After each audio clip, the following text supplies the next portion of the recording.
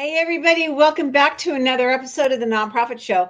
I'm personally really excited today because we have one of our thought leaders, Nonprofit Show thought leaders, Tracy Vanderneck, back on. Hey, welcome, my friend. Hello there.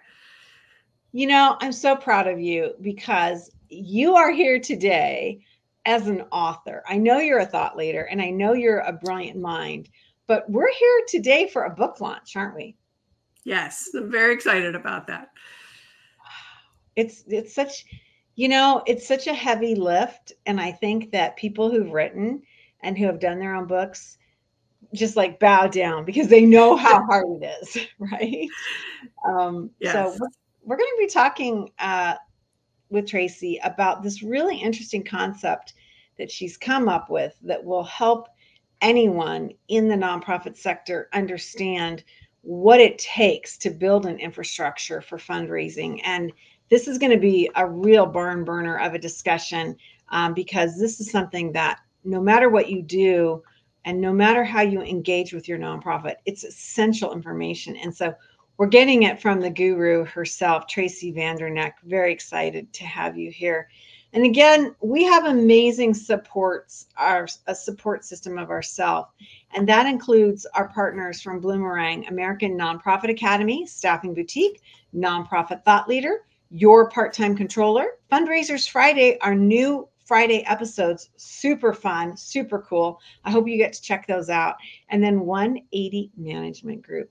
These are the folks that support us day in and day out. You know, we have this amazing co host panel, and I kind of witnessed to Tracy in the green room that um, I didn't schedule anyone else to be on this um, episode because I just wanted to be with her myself to really learn what she was working at and working on.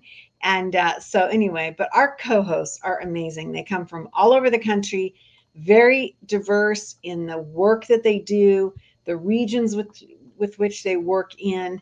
And um, so, what an incredible group. But who's really incredible here today is Tracy Vanderneck, president of PhilCom. You can find her at phil-com.com. Say that fast three times. Okay, my friend, tell us the title of your book and why you chose this.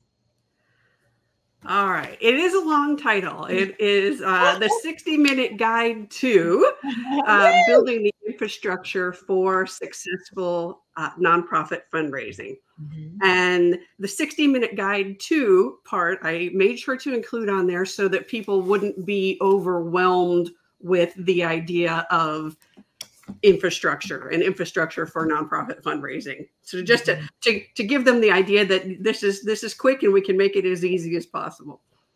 So when we think about your book and we think about this process, I find that generally there is an there's a a Grand Canyon sized chasm between what people in development and professional fundraisers think and do and act and then everyone else. So we're talking like from the board to the C suite. I mean, even internally in organizations, uh, staff members will have a sense of what fundraising is all about. And a lot of times it goes like this Oh, those are the people that just go out to lunch, have cocktails, and go to parties and try and get money, right? And I have heard that, yes. Yeah. So, I mean, this is an interesting question because is this just for folks that are already in it and know how fundraising works or is this for people who don't know? It, it's actually for everybody. I would say more so for people who either don't know or are just getting started. Mm-hmm. but it I, I feel like it's it's a good book for small and relatively new nonprofits that may or may not be all volunteer run or they may have just a few staff members. But mm-hmm. I've had um, people that that read it before it was uh, published who yeah. said that in fact they feel like even some some mid-sized nonprofits who have been sort of just been fundraising on, on a wing and a prayer all this time could benefit from actually going back and maybe adding some of the infrastructural pieces to it. Yeah. You know, it, it also seems to me, Tracy, that maybe um, it's you know Tony Bell, who I just adore. He's one of our co-hosts, and he was uh, we, we were doing fundraisers Friday, last Friday, and he made the most interesting comment, which I'd never thought of. And he said, sometimes it's really powerful just to have your notions confirmed. Yes. Like, like, okay, we're not screw ups. We're doing this right. Or we're on the right path. So let's keep going versus this sense of, oh man, you know, I got to start from ground zero. Um, and so I'm wondering if that might be something that uh, um, kind of fits into this. I, I do think so. Uh, that happens a lot in in coaching, fundraising coaching, is that people will tell me, okay, good. I I, I feel like I've been validated of about what I was doing now. But. What I mm-hmm. think too is that this is a good tool for the people who do know already how to do it, as you say, the the the fundraising part of it. Mm-hmm. This can mm-hmm. be used as a tool for them to help educate their board, their C-suite, the the rest of their staff about the fact that fundraising isn't just going out to lunch or uh, trying different things to see what would happen, that there is an actual infrastructure and a strategy around how or underneath how mm-hmm. we go about fundraising to support nonprofit missions. I love that you said that because I do think that in, in terms of sales and our sense of how we're going to navigate fundraising, um, that it is a wing and a prayer. It's like, you know, did I get lucky today versus, you know, this other piece of was I was I intelligent and strategic? Did I stick to the plan?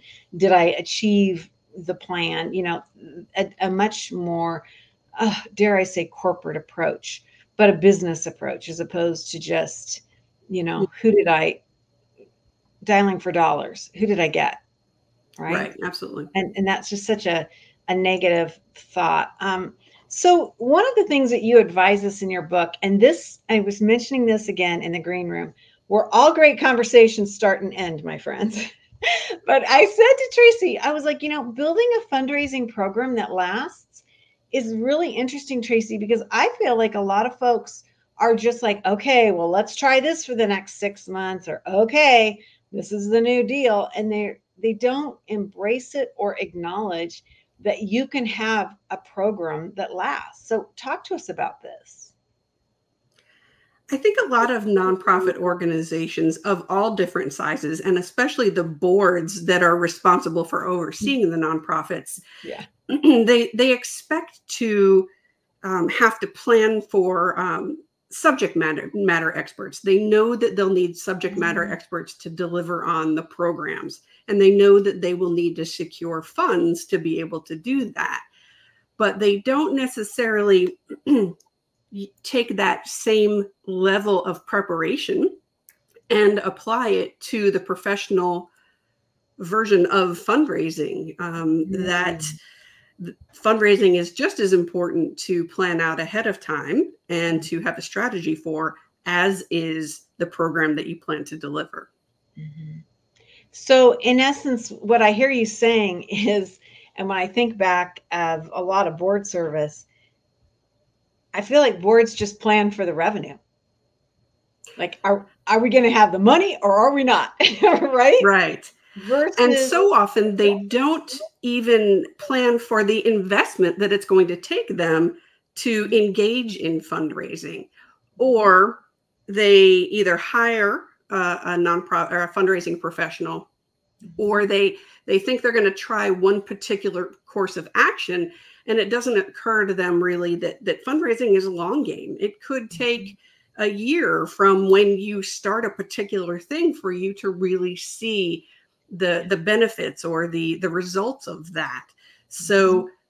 planning not only in terms of the strategy of how you're going to fundraise, but planning on being strategic and sticking with it and not giving up after two months of not seeing the results that you want to me that's what it means to build a fundraising program that's built to last not mm-hmm. one that's just going to change with every staff member or every new uh, board of directors that's something that um, has a solid infrastructure underneath it so that you can change your style maybe sometimes as you go along, but you don't have to change everything all the time.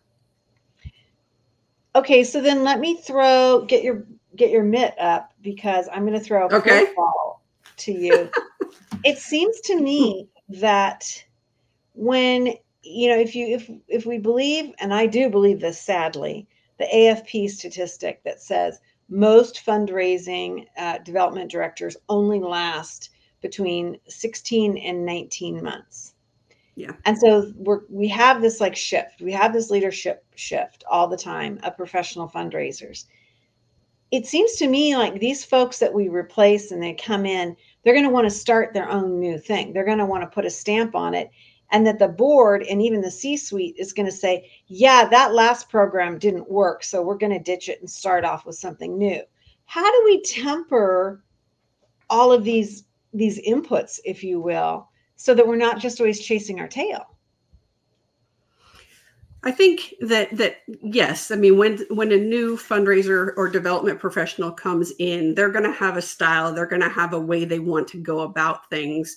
Yeah. but one positive selling point that your organization can have when you are hiring a new development professional is that you're already prepared for them that this this the stage has been set there is um, a, a donor management system that has been used you're already doing all of the fundamental things uh, technically and appropriately so that the person doesn't have to come in and fix all of the ground level things. Yeah. They can just come in and get started right away on building those relationships that they are there to build and foster. Yeah, I love that. So that puts the onus back on us to really be thinking about having, to your point, and to your using your words, a program that lasts and really knowing what our program is.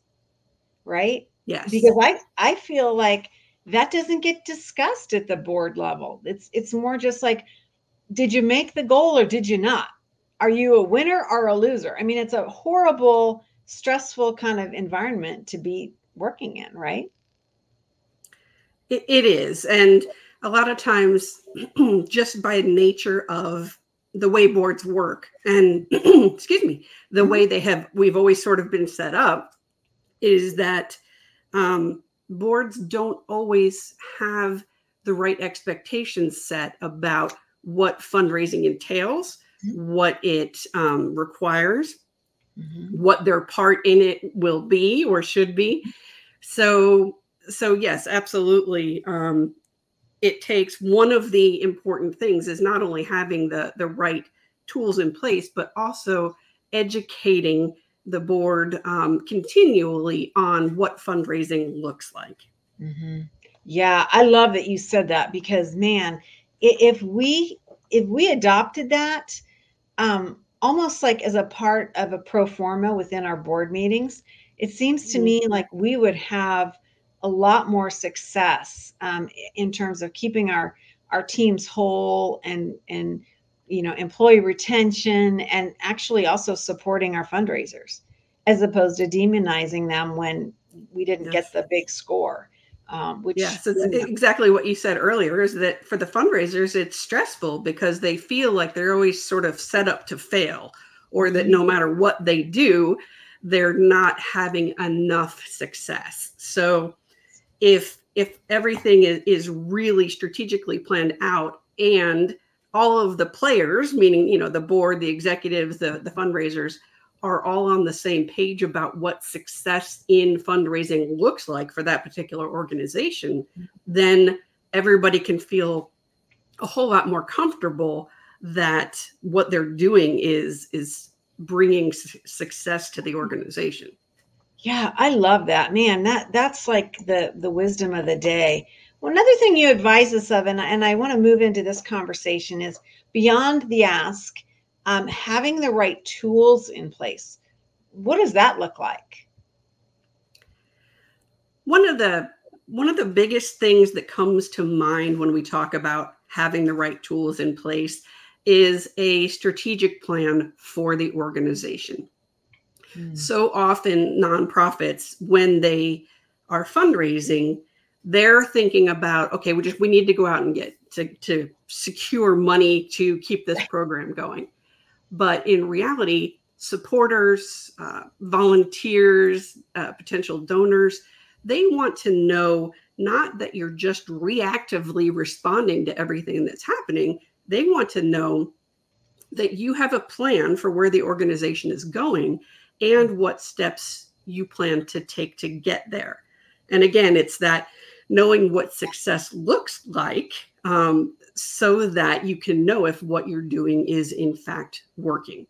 So when we're talking about needing needing tools in place, I feel like the organization, whether it's a business plan, a strategic plan, future casting, whatever you decide to call it, supporters need to know that that level of projection and planning is happening so that they can feel like their investment in the organization is going to something sound. Mm-hmm. You know, it's an interesting thing because I think that um, yesterday we had a guest on who taught me that this phrase tech debt which i'd never heard and the concept meaning that you know you you kind of band-aid things together and then ultimately your systems and your operations are not stable. They're not sustainable. And so then you kind of devolve into having a big problem. You're you know the debt is due and you're going to have to go back and figure out all these new systems and and and things in place. Um, and it was it was fascinating because I I was like looking at my own business and thinking, been there, I'm there in so many ways, yeah. and I was wondering. Well, and and gosh, I mean, you could you could extrapolate from that. It's not just tech debt.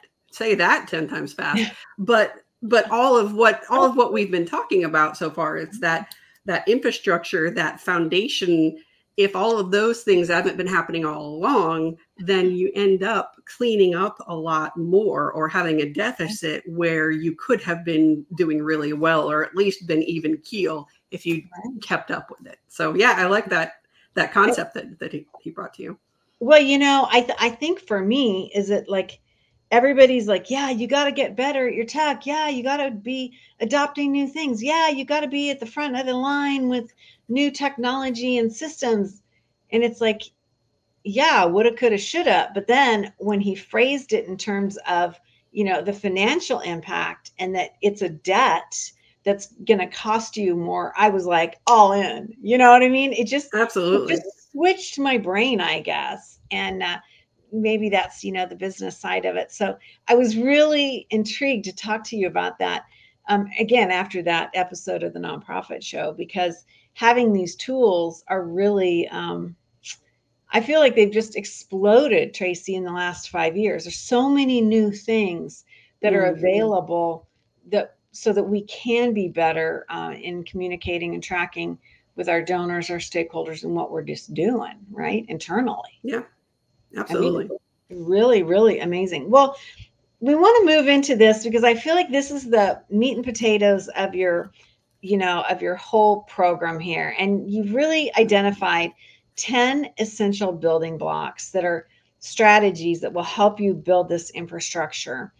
And this, is, of course, comes from your book. It's available, um, you know, so that you can use that. But talk to us about how you came up with this.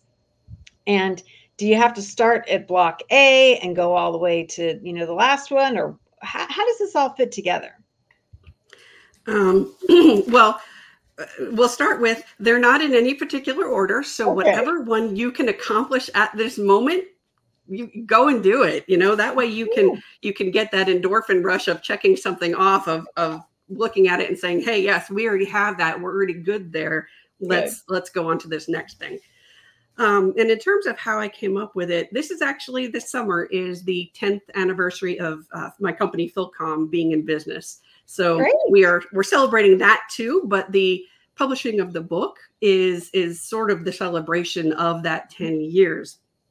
And throughout that time, doing consulting, training, coaching with different nonprofits, a lot of what I do is evaluations of fundraising departments to find out how things are going through the process, what's happening, and where where things are getting caught, where things are getting stuck and not working as well as they could or should. Mm-hmm. And throughout that direct work with nonprofits over the years, I've started to build this list of mm-hmm. here are the really core things that I see over and over again that either really help an organization because they exist or really hinder an organization because they don't exist. So that's where the building blocks came from. But then as I was creating them, I, I sort of I felt like um, they don't need to be in a particular order because they're all beneficial. Now, the one I did start with is the first. I I consider it the first block is um, having a case for support, and mm-hmm. it's it's honestly surprising how many well established nonprofits that have been around for years don't mm-hmm. have an actual case for support or mm-hmm. haven't even heard of one to be familiar with what that is. Right. But to to give the example, a case for support is basically it's a document that articulates the reason that your nonprofit exists. Mm-hmm. What is the issue, problem, or situation in the community that exists that your nonprofit is there to help either fix, assuage, or um, make better? Mm-hmm. And the process of putting together that case for support has a couple different benefits, uh, not the least of which is when your staff, your board are putting together your case for support, it's actually mm-hmm. getting everybody in agreement and on the same page about what the most important things about your organization are.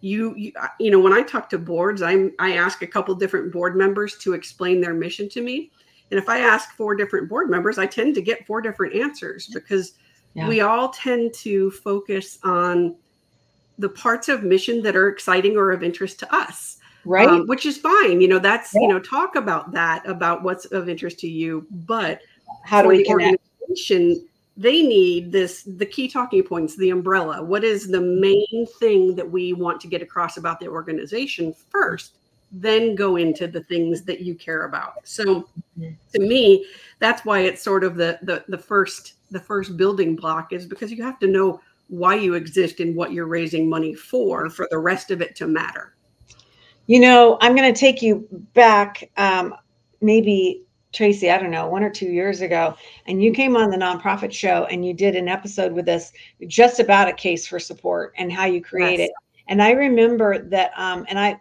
i hope i'm not speaking out of turn but um, you had a like a, a worksheet kind of template thing that people could yes. contact you and um, get that get that information right um, yes, absolutely they can go on my website and, and get, get, it from there there is a, a sample outline of a case for support or you can also email me and i have a, a worksheet that you can use to Brilliant. to really start to build your own and I'm, I'm happy to share both of those Brilliant.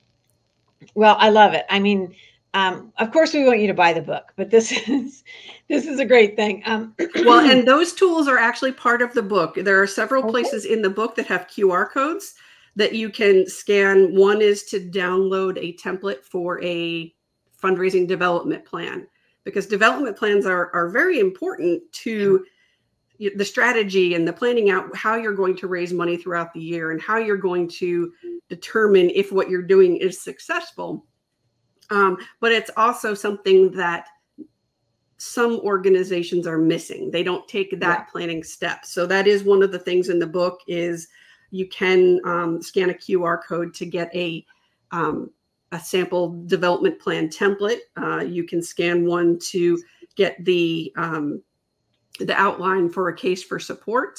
Mm-hmm. Um, and I think there's even one in there for uh, getting a sample development committee job description, if I remember correctly. I love it. I mean, I think this is amazing. Well, since we're talking about this, and, and I love that you've helped us um, navigate what we should be thinking about and how we create our own roadmaps. When we look at this, do you see that this would be something that would go into a strategic plan? That, I mean, you could take these building blocks and actually, you know, layer them through a strategic plan so that you can actually monitor it and see if you're going through? And would this be something that the board would engage in and, and understand? Or do you see this more as a C suite kind of issue? Interesting question. Um, I Sorry, think you guys make me think. You make me think. I think that it's something that the board should know about and should be versed on because knowing that these 10 things exist mm-hmm. um, and that they are necessary for mm-hmm. a successful fundraising department or program mm-hmm. helps the board and and the c suite helps them know that all of these things are ingredients in in what makes the uh, the development department and the fundraising plan work. Mm-hmm. Um, so a number of the things, a number of the building blocks will probably be carried out by paid staff. Or if you don't yet have paid staff that are dedicated specifically to fundraising, um, then they may be you know, the executive director may do it. And if you don't have an executive director, if you're very small or very new, then you are likely to sort of nominate a, a board member to be the one that that spearheads these particular things. Mm-hmm. but in terms of what you asked about the strategic plan i believe that everything that we do in the fundraising department including um, our case for support our development plan all of that should roll up into the organization's strategic plan. Because if we are working to fundraise to support a mission, but mm-hmm. we're working to fundraise programs in an area that are not in line with our strategic plan, then we're really we're diverging and we're going off in the wrong direction. Right. We may be mission creep or we may be chasing the money if we are trying to raise money just because we can as opposed to work strategically to raise money in the areas that makes sense to go forward with the strategic plan. Right. I love that you said that. That's pretty bold because I think a lot of organizations are just like, we're a fundraising juggernaut and we're going to get out there and fundraise. But yet they don't have that sense of what are we fundraising for? Why are we doing it? Where is it going to be used? Um, yeah, I, I love that you called that out. I think that's like super powerful. Well, you are a super powerful woman. I, I think that um, it's hard to believe that our time is almost up. I really enjoyed this. I'm so damn proud of you for writing this book. I know you as a nonprofit thought leader, and I know you have all of this stuff in your head. Um, and so it's really cool that you could take a deep breath, step back, a two year process to get this done. It's really remarkable. Building the infrastructure for successful nonprofit nonprofit fundraising 10 essential building blocks for nonprofit fundraising. It's available um, on Amazon right now. Tracy, is this in pre sale? Uh, to, it went live today. So uh, we coincided the publication date to uh, to go with my my visit to see you today. So it, oh. it's live uh, paperback and Kindle forms. Oh, I'm very honored. You know, we love anything that is um, dare I say, late breaking news. Or, you know, we love to be on the, the forefront of uh, report releases, you know, white papers, certainly books. And so that I'm very honored and thank you very much for letting us debut and, and really help you launch this amazing book. Um, building the infrastructure for successful nonprofit fundraising. It's got to be on your bookshelf, my friends. Uh, this could be a really cool thing to purchase for your C suite or for your board and to, you know, turn it in, dare I say, into a book club structure, Tracy, so that everybody could kind of be thinking there are it. book club questions on the web on my website. So should you have a group of fundraisers that just really want to you know talk through these things you can go to my website and get some book club questions to get you started. love it. See you are brilliant because i love that you thought that. That's really super cool. I'm proud of you like i said Really Thank awesome. Uh, Tracy Vanderneck, president of Phil Dash uh, com. I spelled that out for those of you listening to us as opposed to viewing um, this episode of the Nonprofit Show. Check out Tracy's amazing website at phil-com, C-O-M, dot com, and you can learn more about Tracy's work. She has so many practical ideas and a lot of support documents that um, you can access for free. Um, and then, of course, check out her new book, debuting today on Amazon. Um, I know I'm going to go after the show, pop into my office and buy your book, my friend. How about I just send you one? no, no, no, no, no, no, no, no, no, no, no, no. I'm buying the book um, because I so believe we need to be supporting authors and especially thought leaders in our sector. There's not enough of this. Um, you know, if you go on to Amazon and you look at what's available for nonprofit management, there's not a lot, surprisingly. And um, I think that this is something we must, in our across our nation, be spending more time and, and money on. So definitely, I'm excited, and I can't wait to to to read it and delve into it. Um, so again, Tracy Vanderneck, thank you so much. We also want to extend our thanks to our amazing presenting sponsors.